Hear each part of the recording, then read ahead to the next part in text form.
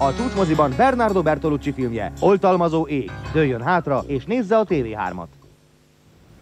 Most pedig következik, mint szokásosan, a Nap TV Extra, 10 óra 45-ig. Vasárnap reggel Verebes István várja majd önöket, és hogy mivel, most már nem mutatjuk meg még egyszer, jó? Hát már látták körülbelül. Köszönöm szépen a figyelmet, és még egyszer elnézést a köhétselésért, viszontlátásra.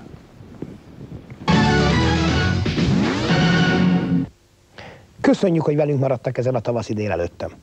Igyekszünk mindent megtenni azért, hogy a napkeltét követő következő napi élményükig mondjuk egy remek ebédig hátralévő időt is kellemesen és hasznosan tölthessék. Ami most közel 3 órában következik, az felfogható a napkelte heti lapos változatának, persze csak akkor, ha a napi adásokat napilapként fogjuk fel. Ember legyen a talpán, aki a heti összadásidőből, amely hiszik vagy nem hiszik, de tény, 22 óra 10 perce rúg, minden néző számára kielégítő válogatást tud készíteni 40 valahány percben. Hitünk szerint mi mégis ezt próbáljuk, a kalácsból a mazsorát kínáljuk most önöknek. Ha laza szálon haladunk a megszokott műsorrendben, akkor a stúdiónak nap mint nap van egy úgynevezett első vendége, aki olyan korán jön, hogy a nap nyitó kávéját szinte biztos, hogy nálunk issza meg. Pénteken ez a hajnali kopogtató Türmer Gyula a munkáspárt elnöke volt, aki néhány órával azután, hogy hazaérkezett Belgrádból, ahol Szlobodán Milosevicsel tárgyalt, már is szembesülni kényszerült Pallagi Ferenc kérdéseivel. Lehet, hogy tévedek, amikor megkockáztatom, megkockáztatom azt a véleményemet, hogyha Milosevic ö, nem lenne ö, számkivetetje az európai politikának, akkor nem gondolná ő sem fontosnak, hogy egy Magyarországon a parlamenti küszöböt sem elért párt vezetőjével neki mindenáron találkozni kell, és ezt a ö, szerb állami televízióba is nyilvánosságra kell hozni. Hát én örülnék legjobban, hogyha nem engem fogadott volna Milosevic, hanem mondjuk találkozott volna Orbán Viktorral. De mert Orbán Viktor ma nem megy el Belgrádba, ezért nagyon örülünk, hogy legalább én magyar politika egyik képviselőként el tudok menni, és tudok egy kicsit segíteni a béke megteremtésében. Na most ami az elkötelezettséget érinti a NATO iránt. Ugye Betlen István a 20-as években legalább annyira támogatta Németországhoz fűződő kapcsolatokat, mint bárki más. De okos politikus volt, bölcs politikus volt, és hagyott más kapukat is nyitva. Én azt gondolom, hogy jó, rendben van Magyarország a NATO tagja, Orbán Viktor egy NATO ország miniszterelnöke, de hagyni kell kapukat. Mi most úgy látjuk, hogy van egy kapu, kell tárgyalni jugoszlávokkal, mert szomszédok vagyunk, és szomszédok maradunk. A magyar kormány bölcsességén és a miniszterelnök bölcsességén múlik, hogy erre a lényegében közvetett üzenetre reagál-e. Én fel fogom ajánlani ma a miniszterelnök úrnak, hogy szívesen elmondom, hogy miről beszéltünk Milosevicsel, arról is, ami a nyilvánosság elé tartozik, arról is, ami esetleg nem tartozik a nyilvánosság elé. Éljen ezzel a lehetőséggel. Milosevic a tárgyalás után megjelent közleményben úgy fogalmazott, hogy szomorúnak tartaná, hogyha Magyarország a NATO céljainak eszközévé válna. Tehát én nem teljesen értem ezt a dolgot. Ebből úgy tűnik, hogy Milosevic feltételezése, vagy talán a fogalmazás szerencsétlensége miatt e pillanatban különbség van a magyar külpolitika és a NATO céljai között. Holott a NATO döntésébe Magyarország is jóváhagyólag vett részt. Hát nézd, én, mint magyar politikus nagyon szomorú lennék, hogyha a szomszédunkban egy olyan ország lenne, amely egy velünk ellenséges, sőt velünk szemben háborút folytató szövetségnek a tagja. Ma tény az, hogy Magyarország a NATO tagja, a NATO pedig háborút folytat Jugoszláviával szembe. Most ehhez képest a jugoszláv vezetés azt mondja, hogy nem tekintjük Magyarországot hadviselő félnek, és ez egy nagyon nagy dolog. Diplomáciai kapcsolatok működnek, a nagykövet itt van, lehetőség van a párbeszéd folytatására. Lehet ez a megosztás szándéka is? Hát de kérdezem, Milosevic mást is lát. Azt látja, hogy sem Macedóniából, sem Albániából a hegyeken keresztül nem lehet nagy csapatokat átvinni és akkor ránéz a térképre, azt látja, hogy hát itt van az Alföld, és sajnos az Alföldön keresztül, meg a jó utakon keresztül lehet csapatokat átvinni. A háborúnak véget kell vetni, tárgyalni kell, és még egyszer mondom, mindenből Magyarországnak ki kell vonnia magát, nem szabad nekünk ebben részt venni. Ezért mentem el, ezért ajánlom fel a lehetőséget a magyar kormánynak, lépjünk ezen túl, hagyjunk kiskapukat egy kicsit. Ha nem lesz ez, higgyel az Orbán kormány ebbe bele fog bukni nem abba fog belebukni, hogy nem 7%-kal növekszik a gazdaság, hanem csak 4-jel, függetlenül attól, hogy mit ígértek. Abba fog belebukni, hogy, hogy háború nem éri el a célját, a NATO idegen célokat követ, és a magyar közvélemény ebben nem fog tudni azonosulni. Heti kimpad vendégeink sorát Bogdán Tibor, az ORTT jogásza nyitotta, de ült ezen a padon Salamon László, az Országgyűlés Ügyrendi Bizottságának elnöke, sőt, Ekrem Kemál György is. Mi a Krausz Tamással készített kimpad beszélgetést idézzük most vissza, amelyben Acélendre azt firtatta, miben rejlik az a jobboldali összeesküvés, amely állítása szerint megfosztotta őt egyetemi tanári kinevezésétől. Önnek azért meg kell magyaráznia saját magának és a környezetének is, hogy miért éppen ön az a szerencsétlen, hogy elnézést a kifejezését, aki csak nem tudja megkapni az egyetemi tanári kinevezést. Nem kell megmagyarázni, mert ezt megmagyarázták nekem a sajtóban, úgyhogy e- ebből a szempontból a probléma kristálytiszta világos. Az egyik diák, meg a önnek. diák az, az, a napi Magyarországban elmagyarázta, hogy a politikai nézeteim számára nem tolerálhatók, és így kétségbe vonta az alkotmányos alapjogomat, hogy én olyan politikai nézeteket képviseljek a társadalomban, amiért jónak látok már az alkotmány keretei között, tehát tulajdonképp megjelent, hogy politikai okok miatt a, a hallgatók egy csoportja... Tehát önt a hallgatói önkormányzat buktatta meg valójában. Részben, és néhány tanár, a fiatalember azt mondta, hogy hát mögötte van néhány tanár, akik őt felruházták a megfelelő információkkal, mert hiszen én nem tanítom őt, de ezek nem is közvetlen kollégáim sokkal érdekesebb, hogy hogy jöhet létre ilyen szituáció. Tehát ennek az egésznek a, a strukturális háttere az érdekes, ami a társadalomra tartozik, hogy hogyan fordulhat ez elő. Itt valami, a, jogtalanságnak a hátterét tulajdonképpen az adja meg, hogy nem biztos, hogy illetékesek szavaznak az egyetemi tanácsban, már most a diákokra gondolok, hiszen én nem ismerek olyan mondjuk amerikai vagy angol egyetemet, ahol a diákok döntenék el, hogy kiből lehet egyetemi tanár és kiből nem, hiszen ez, ez mérhető valami. Itt, itt a diák nem tudja megítélni a szakmai teljesítményt, itt vannak egyetemi és akadémiai instanciák, amelyek az elmúlt 20-25 év alatt eldöntötték, hogy ki az, aki alkalmas a tudományos kutatásra és oktatásra, ki az, aki nem.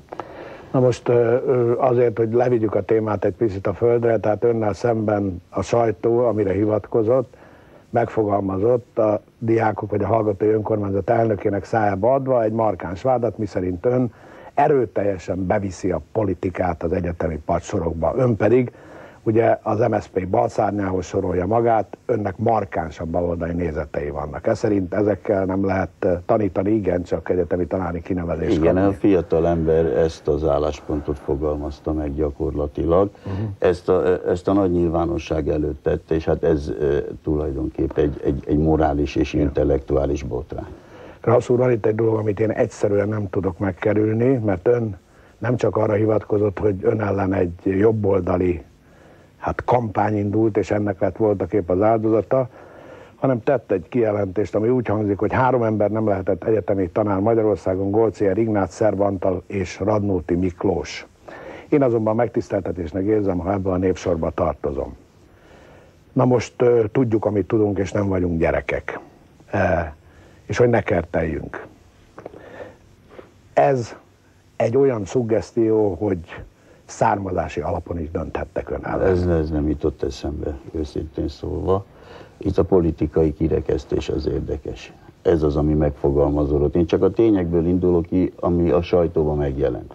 Ez az, ami ebből a szempontból számomra érdekes. Ez Jó, a igen. másik összefüggés, ez jó, hát Radnót és Szerbantól ugye mind a ketten a fasizmus áldozatai lettek, Golcier Ignácot kevesen ismerik, de egy neves arabista mellesleg zsidó származású. Hát Tehát itt, így itt, összejött nem, ez a hármas.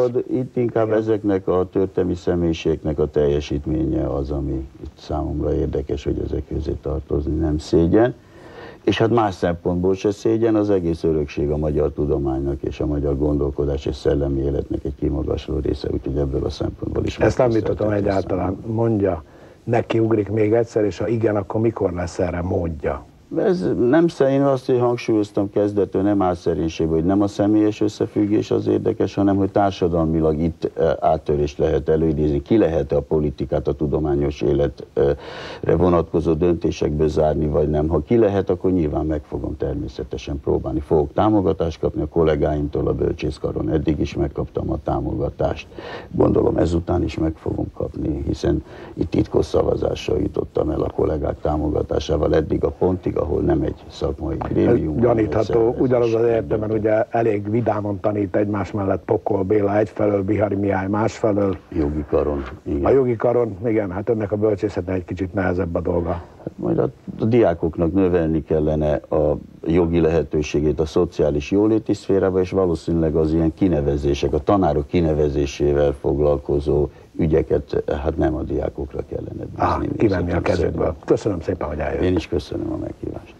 Keresztűz vendégeink közül Vaxler Tamás természetesen a Jugoszlávia elleni háború témájában kapta a legtöbb kérdést. Demszki Gábort a négyes metró ügyében nyert per lehetséges fejleményéről fogadták az újságírók. Tornyá József két örökzöldet kapott, a Fradit és a sertésusárakat, míg Sándor László, az MSZOS elnöke a sok millió embert érintő társadalmi érdekegyeztető tárgyalásokról beszélt.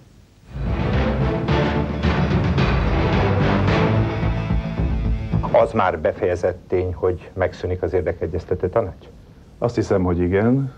Ezt egyébként az eddigi tárgyalások is alátámasztották, hiszen a társadalmi párbeszéd továbbfejlesztéséről szóló elképzeléseket, mint önálló életet élő tervezetet múlt héten szerdán mind a munkáltatók, mind a szakszervezetek egy lehetséges kompromisszum részeként elfogadták.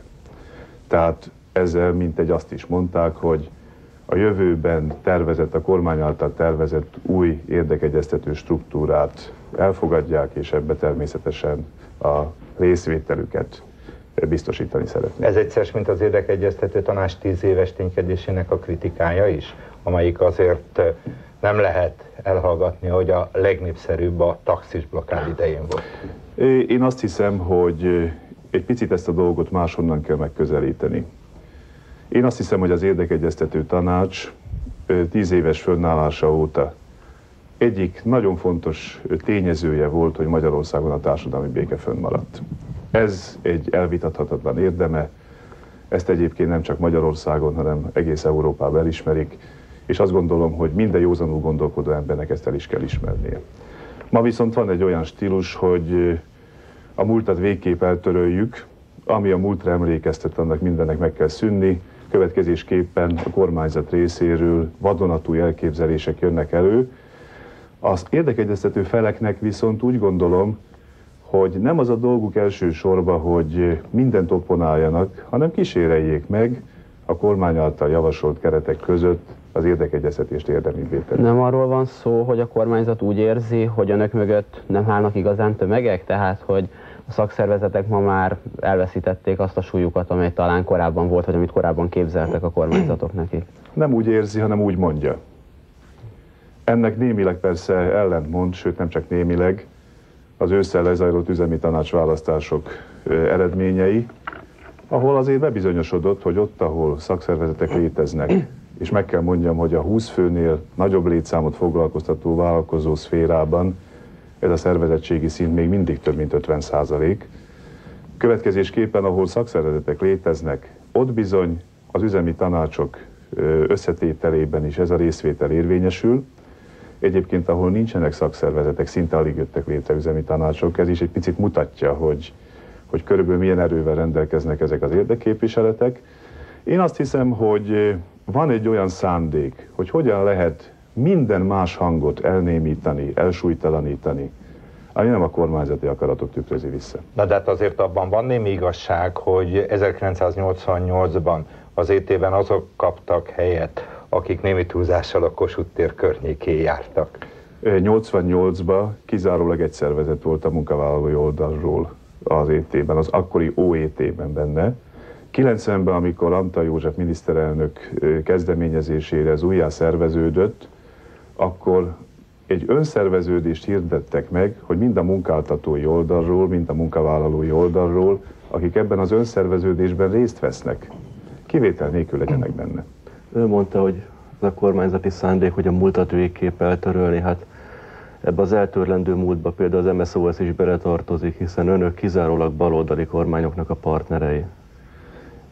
Azt gondolom, hogy ön is abban a hibába esik a kérdés föltevésnél, mint sokan mások, hogy a dolgot leegyszerűsítik, és azt próbálják elhitetni mindenkivel, hogy az MSZOS egy homogén massza, és homogén masszaként kizárólag és kritika nélkül.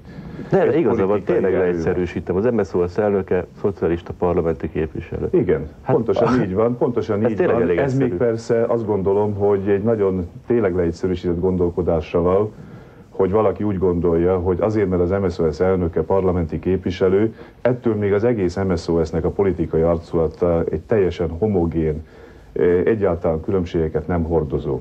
Ennek ellentmond az a tény, hogy az MSZOS-ben a különböző politikai értékeket képviselők platformosodását 92-től alapszabályi szinten megengedjük, és jelen pillanatban is három jól elkülöníthető, elég markáns felfogásbeli különbségeket valló platform működik. Tehát közel nem arról van szó, hogy itt valami egyirányú utcában dolgozunk, és kizárólag egyetlen egyféle politikai erővel tartunk kapcsolatot. Persze az együttműködésük a baloldallal, az se teljesen egyértelmű. Hát hiszen mondjuk a bokros csomag az egy szimpla knockout volt az MSOS számára, aztán emlékezetem szerint szintén a Horn-Kunce kormány idején az önökkel való konzultálás nélkül terjesztették a parlament elé a munkatörvénykönyv módosítását, és hát nem jött létre az a bizonyos társadalmi-gazdasági megállapodás sem. Teljesen igaz, teljesen igaz, és hogy nem nagyon szoktam én ezzel dicsekedni, de mivel az utóbbi időben nagyon sokszor célzatosan föltették ezt a kérdést, most az egyszer és utoljára szeretnék erre kitérni. Amikor a parlamentbe száz szám teszik fel a kérdést, hogy milyen csendesek voltunk a Bokros csomag idején, és Bokros Lajos a nézők előtt és a magyar közvélemény előtt ötször nevezett meg, hogy a lemondásának oka személyesen Sántor László, akkor itt valami azt gondolom, hogy nem teljesen stimmel. Egy picit azt is mutatja, és innentől kezdve szeretnék ebbe tárgyszerű lenni, hogy a bokros csomag idején a teherviselés más megosztására, a gazdagok és szegények teherviselési arányainak más módjára, a kormányzati javaslattal szembe, az egész magyar társadalomban egyetlen egy alternatív javaslat fogalmazódott meg, ez pedig az MSZOS alternatív javaslata volt. Szeretnék mindenkit emlékeztetni, a bokros csomag idején sem a jelenlegi kormányzó pártoknak az országos teherviselésre más javaslatuk, mint a kormánynak nem volt, azóta se tudom, hogy lenne. Ugyanakkor senki nem támogatta Isten igazából azt az alternatív javaslatot, amit mi akkor megfogalmaztunk.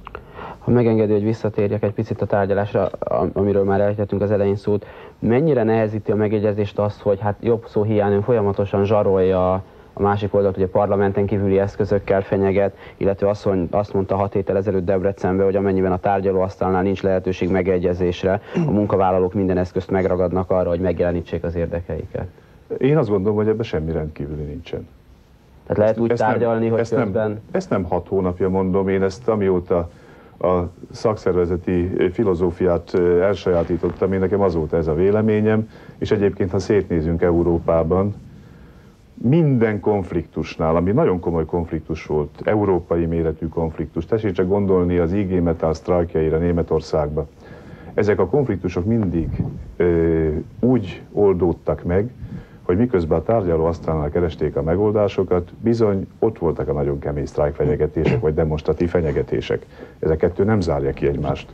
Én azt gondolom, hogy annak van igazán nagy felelőssége, aki a tárgyaló asztalnál elutasítóan, arrogánsan viselkedik, nem teremt lehetőséget arra, hogy a tárgyaló asztal mellett kompromisszumok szülessenek, diktátumokban képes csak gondolkodni, annak sokkal nagyobb a felelőssége, hogy az érdekképviseletek radikalizálódnak. Nem, bocsánat, nem tart attól, hogy mondjuk önök azt mondják, hogy már így nem megy tovább a dolog, és legyen sztrájk, és a munkavállalók pedig azt mondják, hogy ők pedig nem hajlandók az MSZOS után menni, vagy akár ön után menni. Tudja, tudja, ez még egyetlen egy példa nem volt, hogy az MSOS vagy az MSOS elnöke mondott volna valamit úgy, hogy közben nem vitatta volna meg mindezt azokkal, akiket képvisel. Csak hogy a Fidesz álláspontja szerint ugye a mindenkori kormány kap megbízást az ország irányítására, tehát hagy legyen joguk eldönteni mondjuk a költségvetést vagy az adópolitikát, és ebbe legyenek szívesek és ne szóljanak bele. Megmondom őszintén, hogy találkoztam ezzel a kijelentéssel, nagyon egyszerűen fogalmazok, butaságnak tartom. Butaságnak tartom, mert ha egy döntés nincs elég széles társadalmi bázison, akkor sokkal nagyobb a veszélye annak, hogy ennek a döntésnek a következményei rosszul kalkuláltak. Egy példát mondok, a személyi jövedelemadó törvény, amit ősszel elfogadtak. Egyetlen egy érdeképviselt javaslatát nem vették figyelembe, majd mindenki rácsodálkozott február elején, hogy vannak nem lebecsülhető társadalmi csoportok, akik az adótörvény hatásából eredően februárban abszolút értékben kisebb fizetést vittek haza, mint decemberben.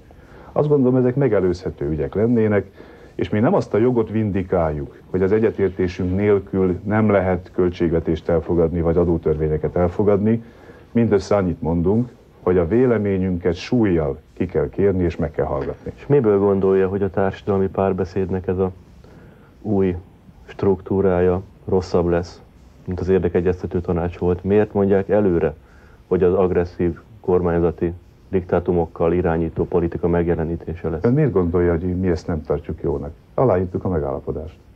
Hát akkor mi Erre a részre vonatkozóan aláírtuk a megállapodást.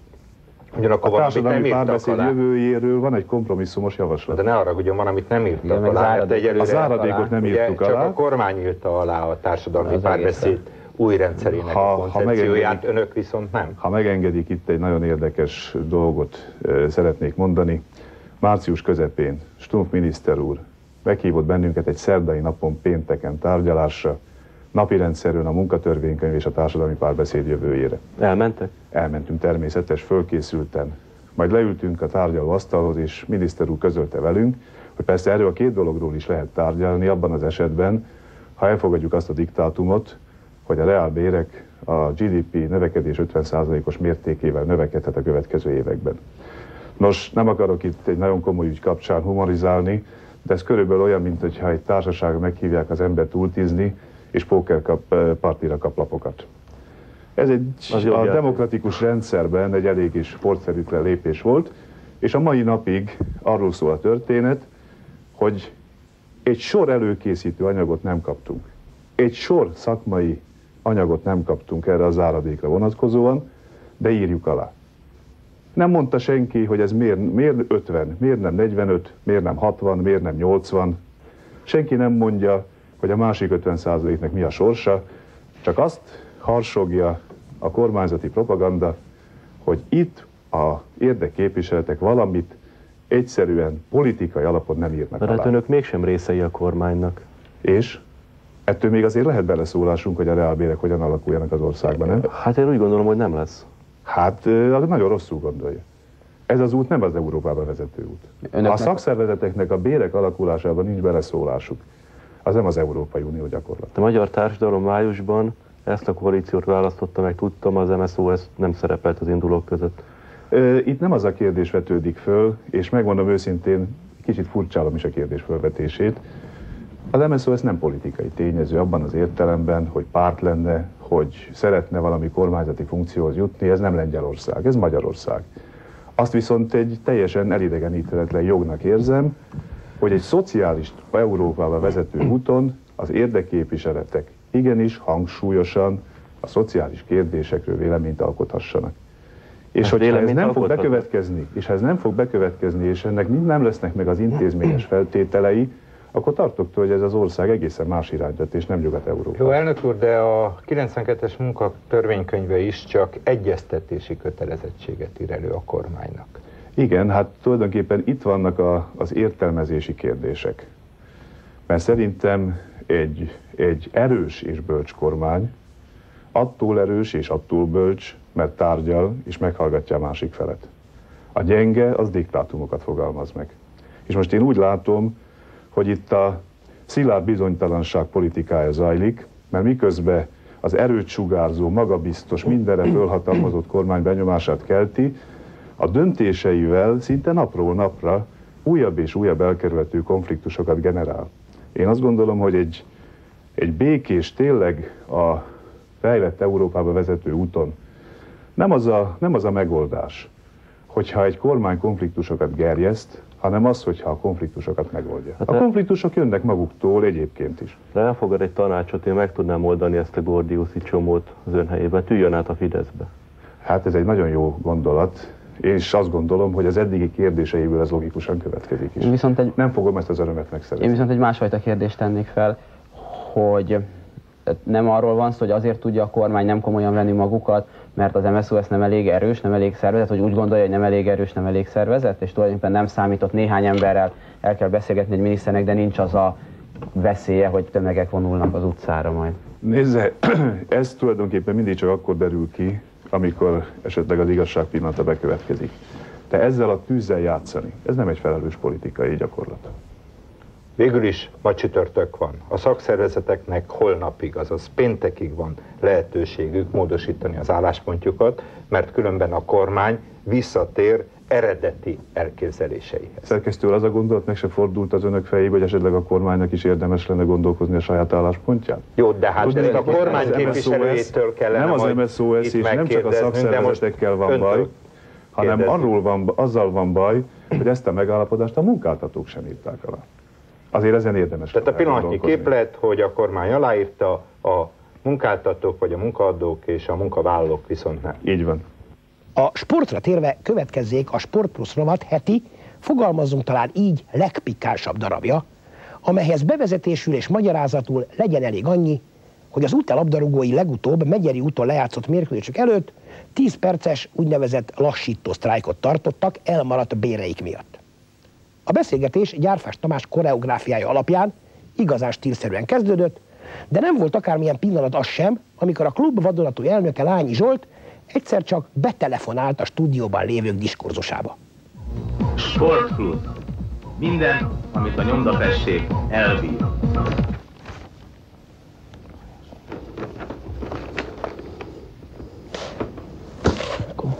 Fociban vasárnap, hogy nem tudom, ez az izé, ez amit mondtam, nem tudom, mire jó ez az izé, amit csináltak a játékos. Jó reggel! Jó reggel! Hogy vannak az urak? Köszönjük. Remekül. Volt egy kis időt újságot olvasni. Még 5 percen belül vagyunk. Meg lehet, ennyit lehet csúszni. Ott hány néző volt? Hát szerintem olyan 4-5 ezer. Én remélem, hogy itt többen vannak. Elnézést kérünk a nézőktől, csak a urakat akartuk tipizálni. Ez milyen dolog? Most az enyémet tudom, hogy nagyon udvariatlan, és nézőktől nagyon-nagyon nagy bocsánatot kell kérnem. Még egyszer tisztelettel, de hát önök ugyanezt tették a nézőkkel, nem mérték fel? Vagy ez így helyes? Csak így tovább jövő héten 10 percet várhatják a nézőket? De én igazán nem tudom, hogy inkább a játékosoknak kellene válaszolni. El kell mondanom, mert hát, ha nem mindenki követte az eseményeket, ugye adó volt a Újpest-Győr mérkőzés, Megyeri úton 5000 néző a lelátón, Ábrahám bíró megkezdeni a mérkőzés, önök sehol. Mit csináltak? Hát erről csak annyit, hogy a szurkolói csoportok vezetői tudták, hogy mi készülődik, és ők abszolút megértették a mi célunkat ezzel, és ők közölték a, azokkal, akikkel tudták, hogy Hány, mi várható. Hány, hány fő van a szurkolói csoport élén? Hát több szurkolói csoport van, de hát mindegyiket mondjuk két-három ember mindenképpen vezet, úgyhogy Tehát ők azért- 5000-ből kette-hárman tudták? Nem, nem 5000-ből kette hárman, hanem mondjuk a négy-öt szurkolói csoportból a tíz vezető, és azok több pár száz embernek biztos, hogy el tudták mondani, hogy mi várható. Egyébként nem pár százan tudtak erről, hanem szerintem több ezer tudott. Ön is tudta? Arról természetesen tudtam volna. És azt mondta, hogy csak így hová, bravo fiú, Ez, ebben én nem szólhatok bele. Hogy a játékosai mit csinálnak? A játékosoknak van egy, egy úgynevezett, ők kitaláltak egy olyan dolgot, hogy ezzel úgy érzik, hogy tudnak figyelmeztetni mindenkit arra, hogy ilyen 5 perces szünettel, egy 5 perces csúsztatással, hogy méltánytalan az, hogy hónapok óta ők nem kapják meg a pénzüket, nem kapják meg a fizetésüket, és ezzel akartak tiltakozni. Ez jogában áll valahol a játékosoknak, ezt én nem akadályozhatom, nem is tudom megakadályozni, hiszen 11 embert nem rúgdoshatok ki a pályára. Uh-huh. Ez bevezetni, ez a tanács? Nem, én ezt nem mondtam, hogy Magyar bevezetném, de én azt hiszem, azt se vezetném be, hogy hónapokig beszélünk profi sportról, és közben amatőr szinten csinálja mindenki. Lányi Zsolt úr tudta az új elnök? Nem tudom, biztos, hogy eljutott hozzá is. Mert ha én most a lapokból táplálkozom, az szerint nem tudta. Hát elképzelhető, hogy, hogy sokan nem tudtak róla.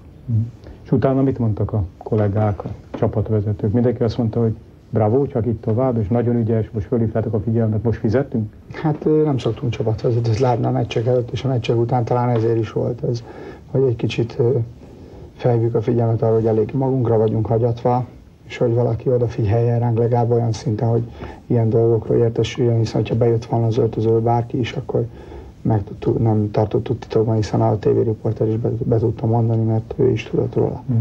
Kitaláltak ki csapatkapitány netán, Szilezák úr?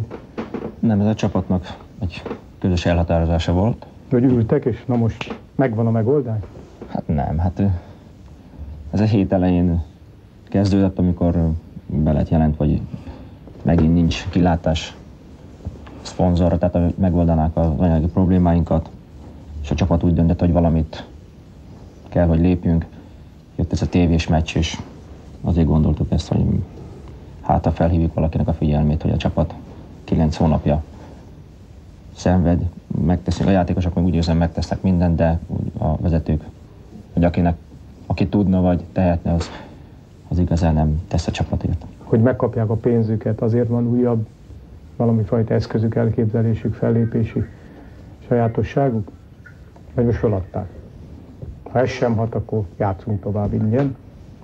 Ezt talán, hogy mondjam elején, hogy azt hiszem, hogy többször fordult már az Újpest történetében is, és a labdarúgás történetében is a feljelentgetés a játékosoknak egyetlen egy lépésük van tulajdonképpen, nem kapja meg a pénzét, feljelenti a klubját és megpróbál elmenni más klubba, ahol esetleg megkapja. Én hát nagyon bízom benne, hogy itt nem. Klubból. Hát ez túlzás, hogy keresgéltem, meghívtak. Az egész. Kimentem, körülnéztem. Uh-huh. Nagy örömömmel jelzik kollégáim, hogy Lányi Zsolt úr van a vonal végén. Haló? Haló? Akkor nincs a vonal végén. Nyilván sikerül majd a kapcsolatot megteremteni. Nagyon örülök, hogyha az elnök úr így figyel ránk. De ott van. Haló? Haló? Jó reggelt, elnök úr! Szervusztok! Mindenkinek köszönök. Vele szemben ül három fiataluknak is. De nem csak ha ezért... jól emlékszem, nem volt szó arról, hogy pénteken megtiszteltek engem és meglátogattak. Mint az úr hangja úgy hallik itt a stúdióban, és mi történt ezen a látogatáson? És akkor ott beszélgettünk, és én ígéretet tettem, hogy a technikai megoldást keressük, a határán vagyunk annak, hogy egy 30 napon belül, ha nem is a teljes tartozás, de a legszükségesebb, akiknél a anyagi rész nagyon fontos, tehát egzisztenciáliás szempontból, akkor meg fogjuk oldani. És akkor nem szóltak ezek a fiúk nekem, hogy 5 percet akarnak sztrájkolni, hogy én se tudtam. Azért azt én elvárom, én egy őszinte fiú vagyok, és szeretek én úgy beszélgetni a fiatalokkal, hogy egyet tudjunk érteni.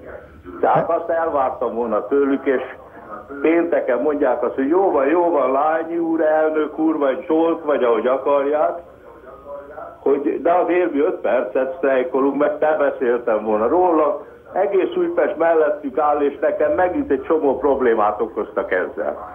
Úgyhogy gondolkozni is kell, és gólt rúgni. Ez a kettő a fotbalistának a feladata, a miénk meg az, hogy szerezzünk pénzt. Igaz, hogy 9 hónapig nem volt, hogy mondják, de én egy hete vagyok, úgyhogy velem szemben nem volt szép eljárás. Ettől függetlenül dolgozok értük, mert hisz végeredményben ők nekik igazuk van, hogy elég rossz anyagi helyzetben vannak, rossz a hangulat, de mondjuk én is boldogabban mentem volna le az öltözőbe, ha mondjuk nem kettő ide győz a győz, hanem mondjuk fordítva. Úgyhogy azért ezt is vegyük figyelembe, és én kérem azt, mert én nekem a erős akaratom van, hogy rendbe szedjem az utat. Mind a 15 szakosztály működését biztosíthassuk. Ebbe beletartoznak a labdarúgók, de azért kérek akkor egy kis, egy hónap türelmet, mert az nem olyan sok, azt hiszem. Csak ezt akartam a fiúknak üzenni. Lány úr, az urak, a sportemberek, nem tudom, látja a képernyőt, először mosolyognak, és ez nekem nagyon sokat jelent, mert az első szavainál ilyen farccal ültek.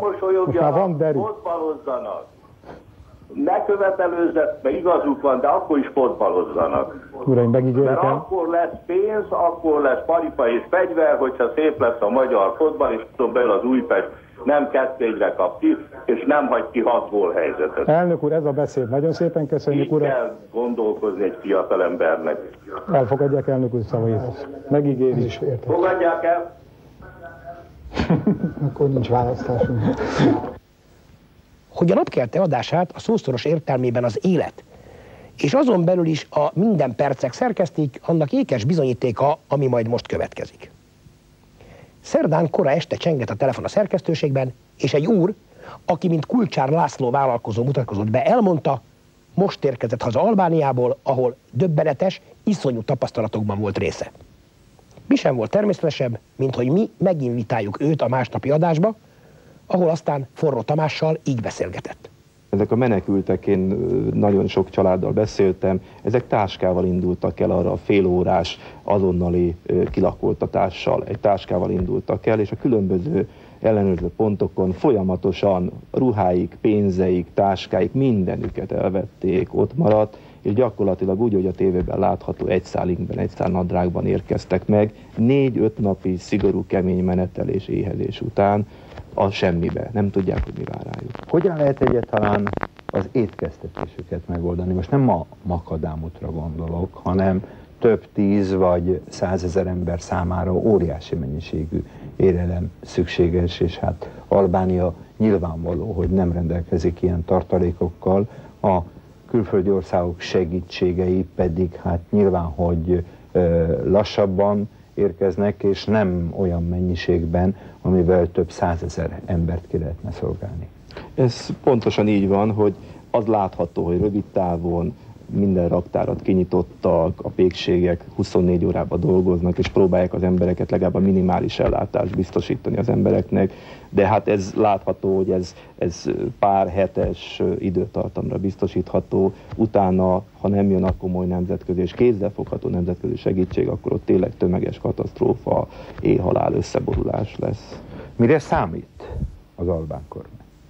Mindenképpen, reményked? Mindenképpen külföldi segítségben bízik mindenki, mert másképp ezeket az embereket, ezt a körülményeket nem lehet megoldani és ellátni, és az, ami még várható, hogy a segítség jön, közben az embereknek a, a lelke és a gondolatai állandóan otthon vannak, hogy mit hagyott ott, hogy a nagypapát hogy lőtték le a ház előtt, hogy a szomszéd, amikor ellene szólt a, a, a szerb katonáknak, hogy azonnal menjen ki a házból, akkor visszaszóltak, hogy az nem úgy van, kiterjelték az egész családot a ház elé, összekötözték őket, lelocsolták benzinnel, és az egész falu láttára fölgyújtották a családot, és ezt így szemtől szembe kinkeservesen elmondják az emberek, hogy így fogynak el, és így ö, szenvednek ott ezek a családok. Mit tapasztalt a személyes találkozások során, hogy mindezek ellenére ezek az emberek készülnek visszatérni, hazamenni Koszovóba?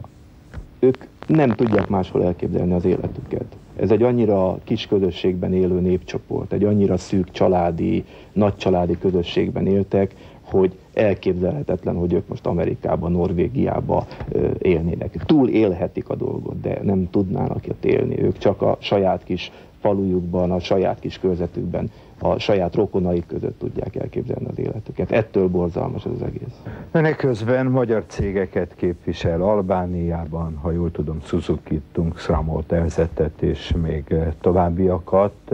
Eh, személy szerint ön, vagy a magyar cégek tudnak-e ebben a helyzetben valamit tenni? Hát a dráma az egyértelmű, hogy erre az üzleti vállalkozásokra is kiterjed. Senki nem abban érdekelt, hogy most különböző árukat vásárol, mindenki a menekültekkel van elfoglalva, és erre koncentrál, figyel, tehát az üzleti élet ilyen szempontból most megállt. Aminek egy másik vonzata lehet, hogy a menekültek ellátására, élelmiszerrel, konzervvel való ellátására talán, ha megérkeznek a nemzetközi segítségek konkrétan, mert eddig ígéretek hangzottak el, csak a kasszában nem érkezett be a pénz, és az állam nem tudott vásárolni, nem tudott igazából produkálni. Akkor úgy látom, hogy magyar cégeknek is komoly lehetőségeik lehetnek. De hát ez akkor se lehet üzlet, ez akkor is elsődlegesen humanitárius akció kell, hogy legyen. Pontosan erről van szó. Itt a kereskedők nagy része az beszerzési áron adta az áruját a menekülteknek, nagyon sokan, akiknek volt lehetőségük, azok a raktárakból ingyen adták az államnak az árut. Visszatér egyébként Albániába? Pár nap múlva igen, megyek újra folyamatosan. Ön személy szerint, és mondjuk a külföldiek nincsenek veszélyben? Most nem Aki... fegyveres veszélyre gondolok, hanem fertőzés, járvány, hát bármi lehet. Aki már folyamatosan lent van, az már ezt valahogy azért próbálta megszokni, hogy ott mások a körülmények, ott ilyen balkáni körülmények vannak, ezt tudomásul kell venni, úgy kell cselekedni. És akkor valami szépet, valami kellemeset, valami üdét, valami igazán tavaszit a végére. A napsó rovat vendége volt a héten az egyik legcsillogóbb tehetségű magyar színésznő, Fűranikó. Ha most valakitől megkérdezik, hogy, hogy magyar színésznő, próbáljon mondani ötöt. Egész biztos, hogy Hernádi, Eszenyi, Udvaros, Básti benne van, és te ott vagy tulajdonképpen ennek a nagy négyesnek a kapujába. De be lehet ebbe a négyesbe valahogy törni? Vagy hogy számolod te ezt? Hova helyezed magad a, a, a, az igazán csillagos sztároknak a rangsorában? Ö, én igazából nem akarok sehova betörni. Én, én ezt sem akartam, hogy csinálom a dolgomat, ha jó szerepeket kapok, azt örömmel eljátszom, és azt gondolom, hogy végül is ez egy végeredmény lehet, hogyha valakit valahova sorolnak. Ez nem lehet cél. Én nem vagyok egy, egy teperős típus, nem vagyok egy nyomulós. Én nem, csinálom a dolgom, aztán dönts el, hogy ez ki mennyit ér. Egyébként te is ezt a négyet mondtad volna, hogy ha, ha valaha a négy legjobbat kell megnevezned? Igen, nagyszerű kolléganőkről volt szó az előbb, de én azt hiszem, hogy még, még tudnék jó, jó pár olyan nevet mondani, akik, akik szintén nagyszerűek, és ez, ez kicsi ország vagyunk, keveseknek adatik meg, hogy tulajdonképpen így a, a leginkább élvonalba legyenek. Kár. Kár. Hogy fog érvényesülni az Deco Oszlóba? Mondtad, hogy a tribádok éjszakájával mm. indultak Oszlóba. Nagyon meghallgatnálak, amikor norvégul mondasz úgy egy monológot nekik. Hát ha norvégül nem is, de egy ékes, hosszú finn káromkodást azt oda fogok tenni. Nem tudom, hogy milyen lesz a sikere, majd és Ö... már tudod, el tudod mondani ezt a háromkodást? Igen. Na, hogy hall, hall, halljuk csak, mondom. tehát Ribádok éjszakája, jön Fűralikó. Igen, ez, ez, ez, ez az antrém. Uh, alle minne vuosia raata satans ruppido allet minne terveissä kussat, ymekassat, perkele ysti, naakassat. Na, megijedtél, ugye? De ez jó egyébként, a végén, a végén tulajdonképpen az ott egy kicsit ez a nai kesze. és úgy, nagy vonal, és úgy nagy vonalakban van fogalmat, hogy mit mond? Van, de nem mondom meg. Annyira csúnya? Nem valahogy, de nem. Tényleg? Persze. És ez hogy jött? Onnan küldtek egy, egy Nem, ez bele van írva. Per Olof Enquist SK beleírta a darabba. Na most, hogyha ezt magyarul játszanátok, akkor, akkor ezt, ugyanezt a részt hogy mondanád el? A részfánfütyülő, rézangyalát, azt a teremburáját, hát mondom, hogy nem akarok most szalonképtelen lenni, így kora reggel. Annyira szalonképtelen? Igen. De ennek ellenére szereted, látom rajta. Nagyon. Még egyszer el tudod mondani? Hát már elmondtam. Próbáljuk csak meg. Na. Na? Megtanulod? Na, hogy van? Jó. Alle minne vuosia rata satans ruppido allet minne terveessä kussat, ymekassat, perkele, űzti, nakassat. Na? Hölgyeim és uraim, Fűralikot hallották a tribádok éjszakájából. Most Nor- ezzel zárod, hogy finnül káromkodom? Hát ez nagy Finnül káromkod. Nagyon köszönöm, hogy itt Én is a meghívást. Ez volt hát a napkelte elmúlt hetének első miniaturizált változata. Köszönjük, hogy velünk voltak, de ne felejtsék el, a napkelte extrának is van extrája, Holnap, azaz vasárnap, 9 óra után újabb 30 perces összefoglalóval várjuk Önöket. Viszontlátásra!